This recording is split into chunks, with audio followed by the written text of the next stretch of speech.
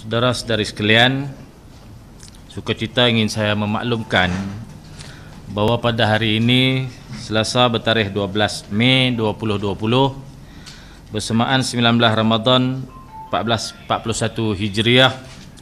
seramai 23 ahli, 23 orang ahli Dewan Undangan Negeri Kedah Darul Aman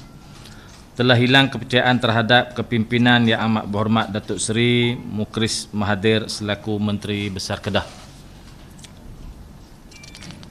23 ahli Dewan Undangan Negeri yang saya sebutkan tadi ialah 15 daripada PAS,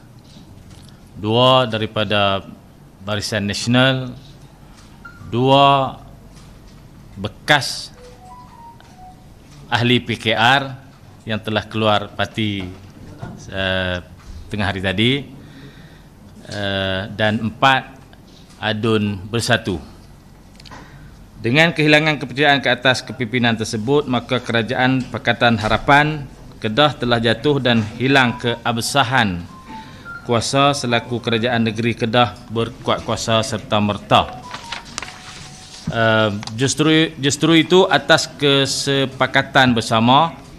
19 daripada 23 adun yang hadir pada hari ini bersetuju untuk membentuk kerajaan negeri Kedah yang baru atas nama Kerajaan Perikatan Nasional. Bagi menyempurnakan proses peralihan kuasa secara tertib dan aman mengikut acuan negeri Kedah,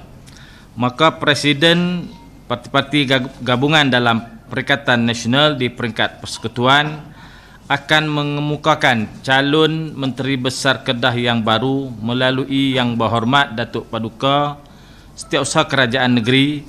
bagi diperkenan seterusnya menerima tauliah lantikan dari ke bawah duli Yang Mahmulia Tuanku Sultan sebagai Menteri Besar Kedah.